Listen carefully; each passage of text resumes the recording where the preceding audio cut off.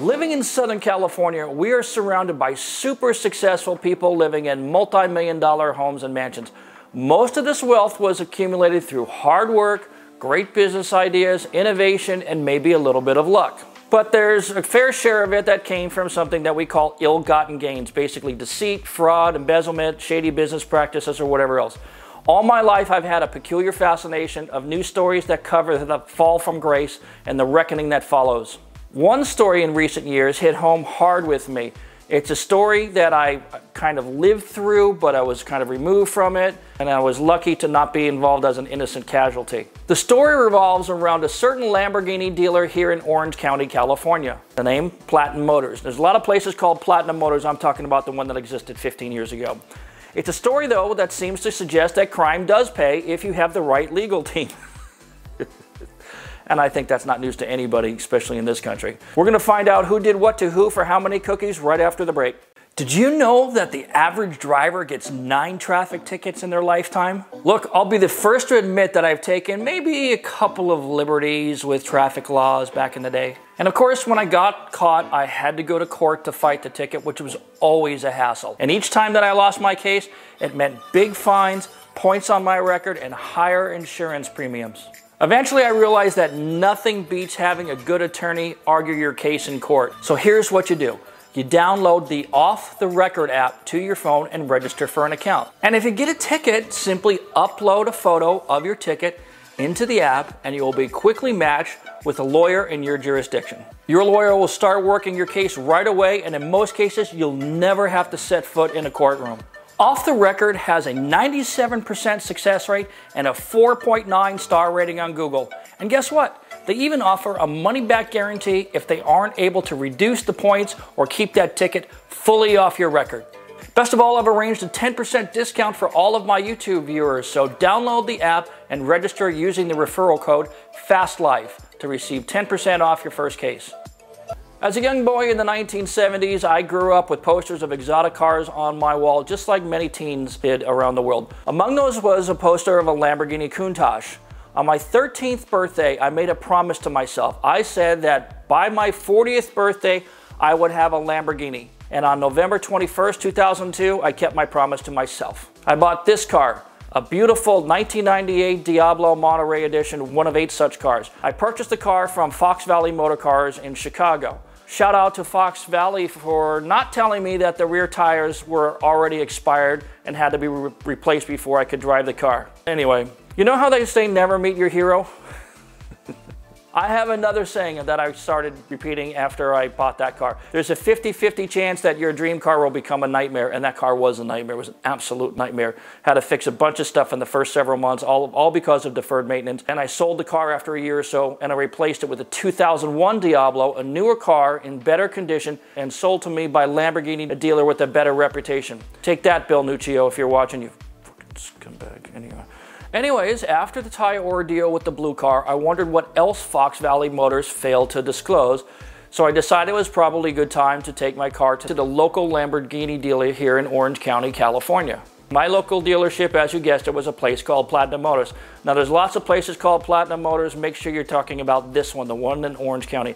It was run by a guy by the name of Vik Keuylian. Now I don't judge people by how they look, but during my only interaction with the guy, he came off as a typical car salesman, just didn't give me a good vibe. I asked him about a Gallardo that he had on the sales floor, and he just kind of brushed me off, not knowing that I was literally picking up my Diablo from the service department that same day. And I think that's kind of a, a cardinal sin with exotic cars.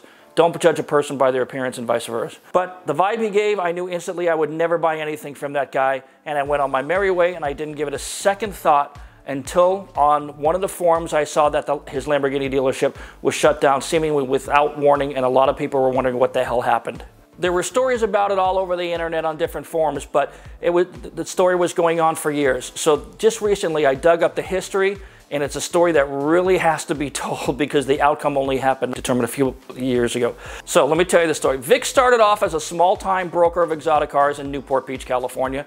His specialty seemed to be Lamborghinis. In 1995, the existing Orange County Lamborghini dealership was basically handed over to him because nobody else seemed to want it. In the early 1990s, Lamborghinis were not good cars. But in order to survive, he had to hunt for cars. And in early 1998, he bought out the entire inventory of Automobili Lamborghini USA, which at the time was owned by Chrysler. He got a great deal paying only the importer cost, which was around $35,000 below dealer cost. Now that's a good profit margin. There were a total of 20 cars and that basically got him up and running. By 1998, Vik had doubled Lamborghini USA sales from a measly 48 cars during the year to about 100 cars, which was, as it turns out, half of the total Lamborghini production worldwide.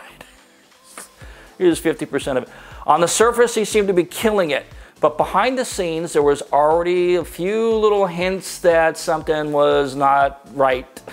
For starters, as the world didn't find out until much later, was the fact that Vik's sisters, Nora, Sassy, and Estrisi, were listed as owners of Vik's business enterprises. What?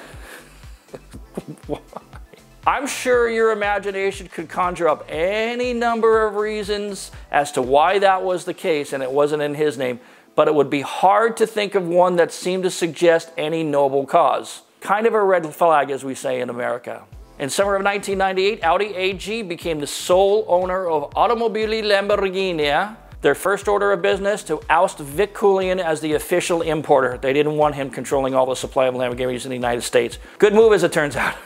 But this was going to be a lengthy legal process that ended up taking two years, and by the 2000, Audi finally wrestled the control back from the Keuylians, and so he was out as the official importer. But when the dust settled about 2002, the Keuylians still had their dealership, but they were officially no longer the importers. Not long after, in 2004, the Gallardo was released, and it was an immediate hit, and within a year, Platinum Motors was killing it. They were selling about 200 cars a year. They were now the largest Lamborghini dealer in the entire world.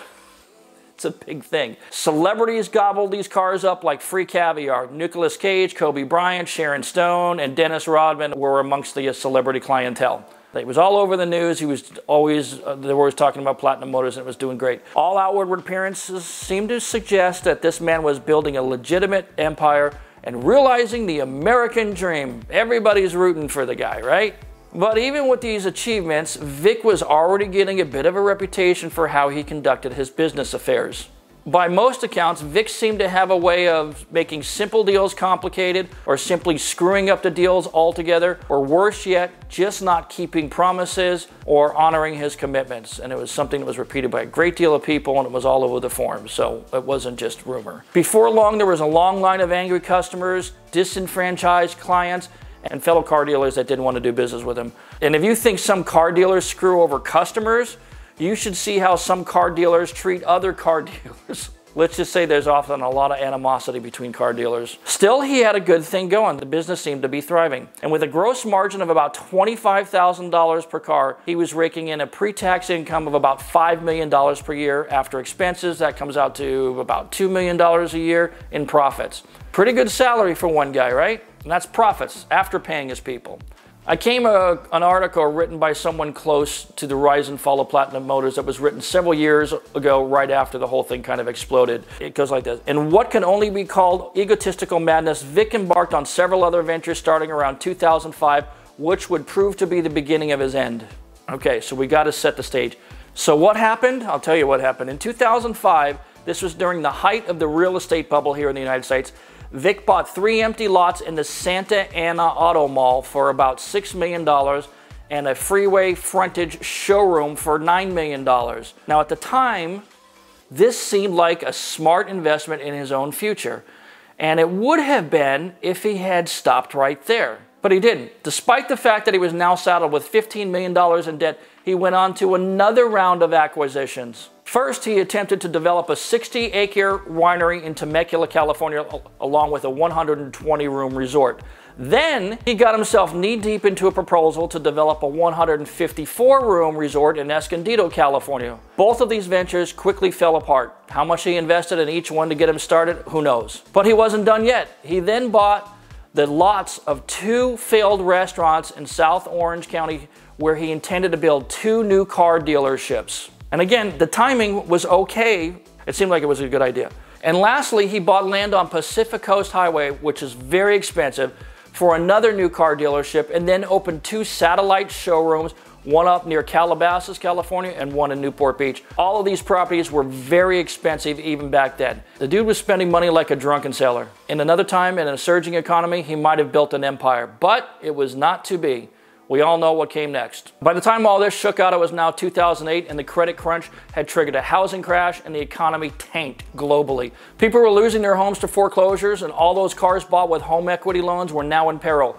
The recession affected many industries, especially exotic car sales. No one was buying anything and Vik found himself irretrievably overextended. Worse yet, the rumor was that Vik allegedly owed a lot of money to the kind of people you don't want to owe money to.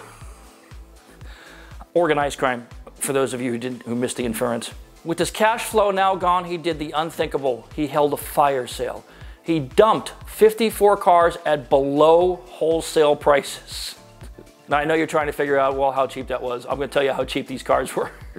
Court records show a fellow by the name of Levon Gugasian paid $60,000 for a 2009 Lamborghini LP640. VW Credit had it originally financed at $387,000. Gugasian, who owned Newport Collectibles, another exotic car dealer, actually purchased 23 cars from Vic during this fire sale. Sure. Who wouldn't buy these cars at 60,000 bucks? Makes total sense. Doesn't seem suspicious at all, does it? Google search on Gugasian shows that he was connected also to Newport Exotic Cars, a company that he ended up suing in the court. In fact, Gugasian had legal problems going back all the way to 1982 when he and his attorney were caught up in a wire fraud and bribery case, a case in which his attorney was disbarred for his actions. so I'm just saying that maybe he wasn't keeping good company. All told, Vik netted $8.1 million from the sales of those cars at the fire sale, but he still owed $12 million to VW Credit. So he got $8 million, he didn't pay them. However, not a dime of that 8.1 million made its way into VW Credit's pockets. Where did the money go? It's anyone's guess. Some speculated that Vik chose to pay off those other debts alleged to be owed to people who don't give extensions, if you catch my drift, rather than giving it to VW Credit. Either way, VW Credit didn't get paid out. Of course, the feds were soon involved and they impounded 13 of those Lamborghinis that were sold during the fire sale, leaving the people who purchased those cars out the money. VW Credit promptly canceled all the warranties on the other cars that were not impounded, and they also flagged them so they could not be sold. What happened to those cars is a mystery to me, but I'm sure somebody knows. Word was that Vik had a relative at the DMV who was removing liens from titles to get those cars registered, so maybe some people were able to sell them and get them registered by getting the liens removed. Don't know for sure, but it has been suggested. On May 11, 2009, Keuylian pled guilty to one count of wire fraud in a prearranged deal with the district attorney, reportedly to keep his sisters out of jail. At that point, he was then facing 30 years in jail and a million dollar fine. But when the actual sentence did finally come down in 2010, it was reduced to 12 years in prison. By that time, he was also facing several civil lawsuits filed by Volkswagen Credit as well as many other creditors. So the guy was blowing a lot of money on attorney's fees. but somewhere along the line, Keuylian's lawyer discovered records that basically established that Volkswagen Credit was indeed, quote, well aware that the cars referred to in the plea agreement were sold and that Volkswagen Credit never had any right to the proceeds from the sale of any particular vehicle. Now, I don't know what that agreement looked like, but it would be interesting to see. Moreover, Keuylian's attorney learned that Volkswagen Credit knew all along that the money was not being immediately paid back to VW Credit when the cars were being sold. This arrangement with VW Credit was part of a joint effort by VW Credit and the Lamborghini factory and Keuylian to support the reputation of the Lamborghini brand and Lamborghini expansion plans. So what was going on with Lamborghini uh, is, is, a, is a secret. I've heard things, but I'm not going to repeat. In April 2012, Keuylian filed a motion seeking to withdraw his guilty plea, citing this newly discovered evidence and claiming that Keuylian always believed that the fraud allegation was false but could not prove it until he obtained the documents as part of the civil suit with VW Credit. And once he got that, they went back to the court and Keuylian's motion also alleged that he was told that if he did not plead guilty, he would be charged with money laundering, it would face a significantly larger sentence. This is a tactic of law enforcement. If you don't plead guilty to this, we're going to throw more charges on it. And also that if he did not plead guilty, his sister would be charged with fraud as well. Again, tacking on charges to scare you into a guilty plea. They're just trying to get a conviction. Using legal tactics to delay sentencing no less than 10 times, Vik never saw the inside of a jail cell. Then on July 2nd, 2012, the U.S. District Judge, a fellow by the name of Cormac Carney, granted Keuylian's motion.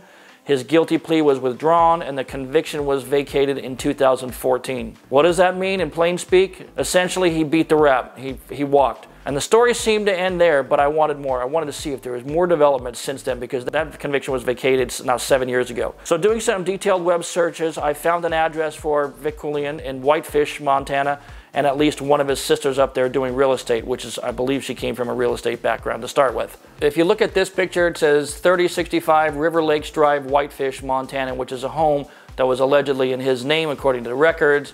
Uh, you can take a look at it uh, going onto a site like uh, Zillow or Redfin. But what's really interesting, during this period, that period from 2006 to 2010, there was a lot of stuff going on. Along Pacific Coast Highway in Newport Beach, exotic car dealerships during that period came and went. All these buildings, it was one name one day and one name another day. Some of them were going out of business, other dealers were moving. It, it just did, I didn't understand what's going on, but all of it makes sense now in that context. And again, while not all exotic car dealerships are bad, it would be very wise of you to, to do your research before you buy an exotic car. But I would strongly recommend that you do not do business with the Keuylians. And if you do, best of luck to you. Thanks for watching, everybody. I hope you enjoyed the story. There's more to come.